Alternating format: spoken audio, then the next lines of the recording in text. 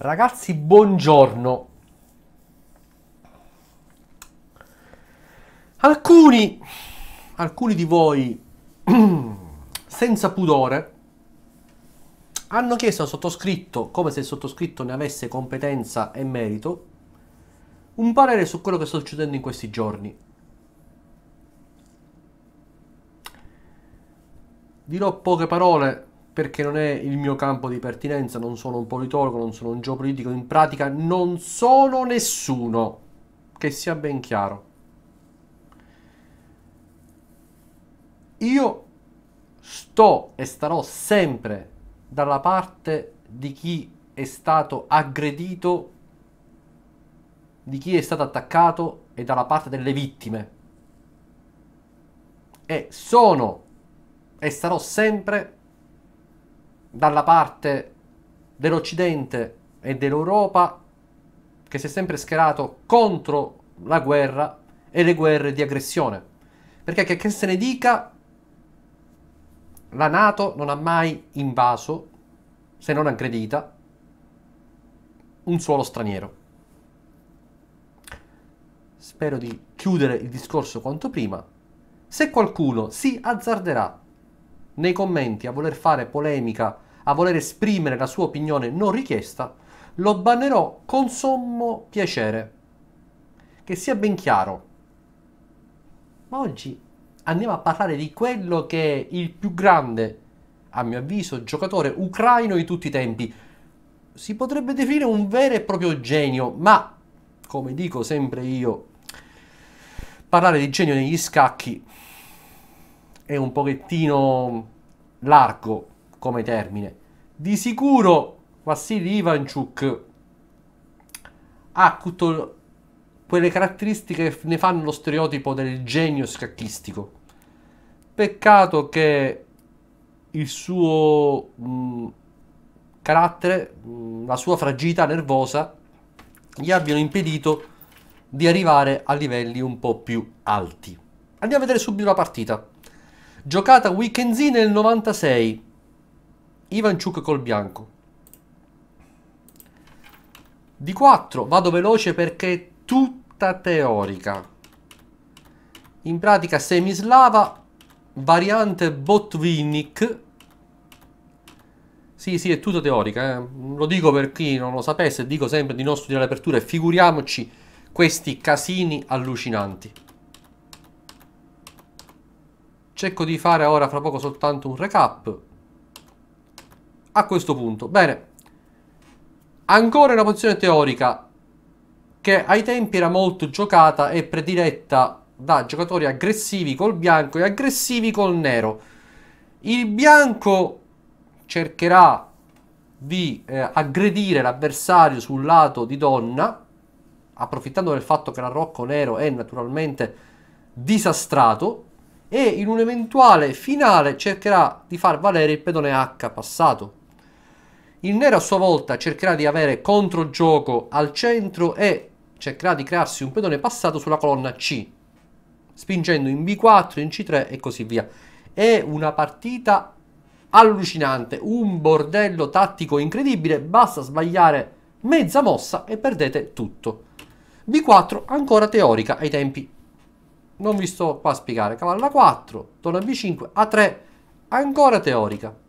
E per D, A per B, C per B, alfiere 3. Ecco, questa è la prima mossa che diciamo non è propriamente il top della teoria, anche perché la teoria si evolveva di giorno in giorno.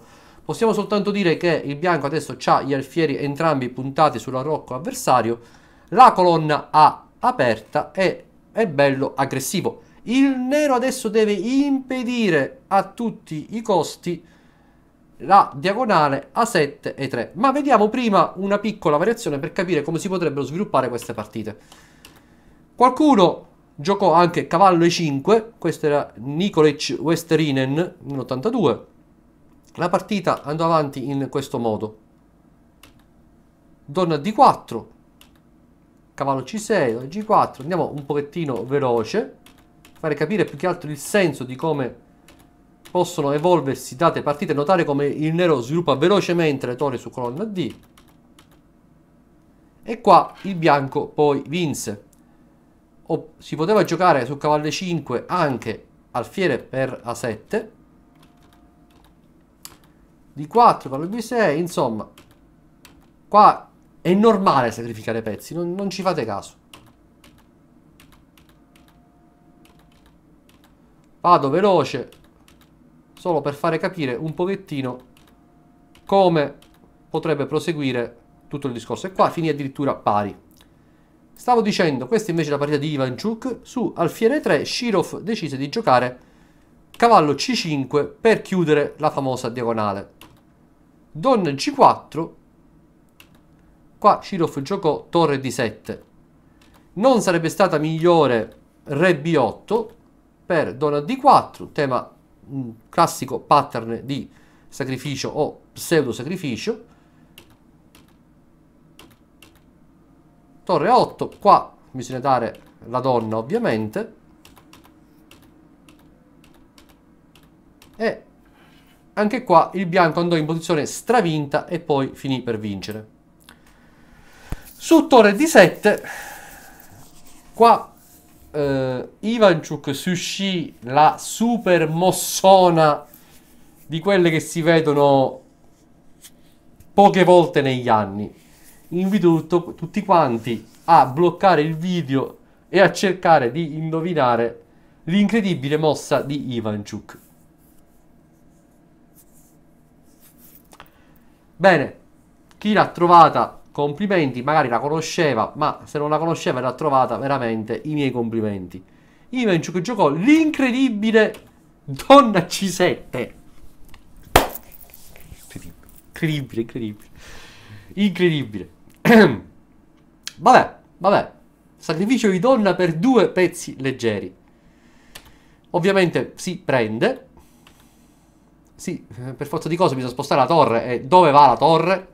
Allora, se andava in D8, poteva seguire cavallo per C5, torre C7, alfiere H3, re B8, con incredibile posizione imbordellata. Posso fare un piccolo esempio? Eh, faccio vedere velocemente come si poteva continuare con incredibile cavallo per E6, cavallo E6, F per E6, alfiere A7, Re A8, alfiere B6 e ovviamente c'è patta, se Re C8, alfiere per E6, quale torre mettiamo? Allora, su, uh, vediamo, vediamo, Dunque, torre di D7 non si può mettere che segue la promozione con matto, quindi bisogna mettere per forza l'altra. E a questo punto uh, si potrebbe giocare alfiere D4 con incredibile e bordellosissima posizione.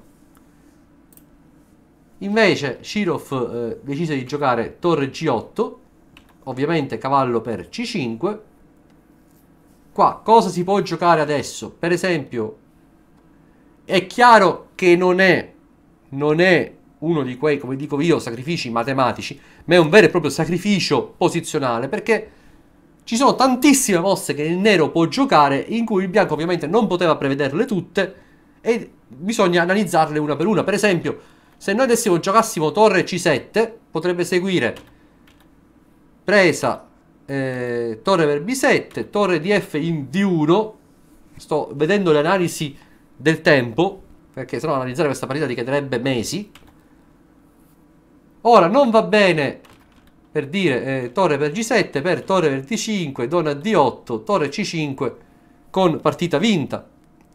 Quindi si giocherebbe torre D7, alfiere D4, di nuovo con netto vantaggio del bianco, grazie al pedone G7. Consiglio a tutti quanti di analizzare la partita che male non vi fa al solito. Shirov, nel caldo della partita, decise di giocare attivo e diede un pedone. Fiere per B7, torre per B7, cavallo per B7. Ovviamente si minaccia cavallo di 6 scacco. Ora, Su donna per B7 o re per D7 seguirebbe alfiere per D4 e poi torre di Fn1 sempre con netto vantaggio. Quindi Cirov gioca donna B6 ma ugualmente segue alfiere per D4. Donna per D4, TF D1, donna B2 almeno muoio a pancia piena. Scacco. Dove si va? Un B8.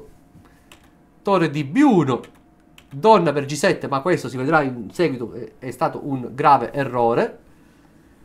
Sarebbe stato meglio giocare qua eh, donna D2, cavallo per C4, donna C3 e incredibilmente la mossa migliore era torre A4, sempre con incredibile e bordellosa continuazione.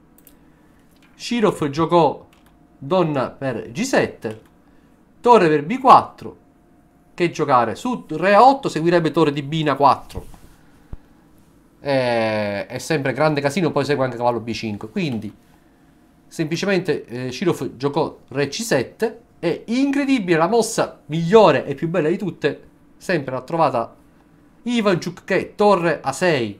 Notare come il bianco gioca benissimo e in maniera tremendamente coordinata. Qua quasi obbligatoria Torre B8 Adesso si scacco perché si riprende la torre. E ora cosa giocare? Cosa giocare? Su C3 seguirebbe torre C8. Cirov giocò donna G4. Ma dopo torre D8, re C6, torre A1, ovviamente abbandonò. E dico per tutti gli scarsoni all'ascolto, perché si abbandona una partita del genere? Perché due torri sono più forti della donna, per il semplice motivo che sono due pezzi ad attaccare e la donna è una a difendere. Se entrambe le torri attaccano il pedone C, la donna da sola non le può difendere. Quindi si andranno a mangiare semplicemente tutti i pedoni. Wow! Che partita incredibile! Io ovviamente, ma lo so che sarò sempre e continuamente inascoltato, consiglio a tutti di metterla su una scacchiera, di andare ad analizzare. Dico soltanto che attualmente nella moda attuale questa posizione non è più così tanto uh, giocata perché appunto è foriera di troppi tatticismi, troppi casini e in un periodo di computer semplicemente qua qualcuno potrebbe uscirti la mossa che è venuta fuori da una settimana di analisi da computer e rubarti il punto. Quindi quasi tutti oggigiorno giocano un'altra variante, ovvero sia su alfiere G5 giocano l'immediata H6 che su alfiere H4 si gioca G5 e poi si va così adesso veramente il pedone il nero dovrebbe tenerselo. Anche se in questa variante il bianco ha molte molte molte frecce a suo arco e consiglio di andarsi a vedere anche queste belle posizioni che ne derivano. Oppure eh, oggigiorno sempre su H6 semplicemente si mangia si dà la coppia di alfieri e si gioca una partita molto più posizionale più tra virgolette tranquilla va bene ragazzi questo l'ho voluto giocare ricordando e omaggiando il più grande giocatore ucraino di tutti i tempi. Spero che in futuro potremo anche ritornare a vedere cose più normali. Ho in mente, l'ho anticipato sul mio canale, di fare qualcosina tipo una rubrica pillole di strategia, qualcosa di pochissimi minuti, dove do delle informazioni proprio flash di livello molto basso ma tutto ciò sarà in ogni caso legato a quanti visualizzazioni avrà detto, detto video, che comunque proverò a fare quanto prima. Un caro saluto, bacioni a tutti, mi raccomando, iscrivetevi, ditelo in giro, non sia mai che qualcuno voglia imparare qualcosa di serio. Un caro bacione a tutti.